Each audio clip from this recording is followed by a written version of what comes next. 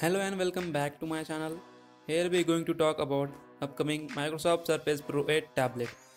Microsoft will most likely to introduce a new Surface Pro hybrid tablet around October.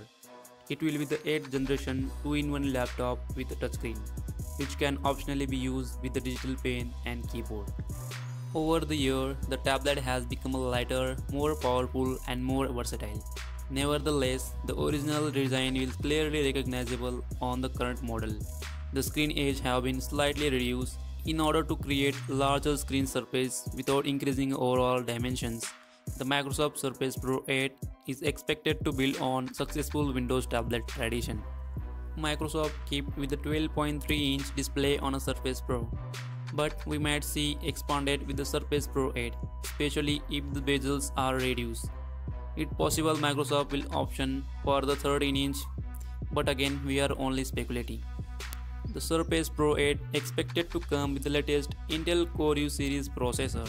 Alongside with the CPU, the Surface Pro 8 will likely to start with the 4GB of RAM and go up to 16GB.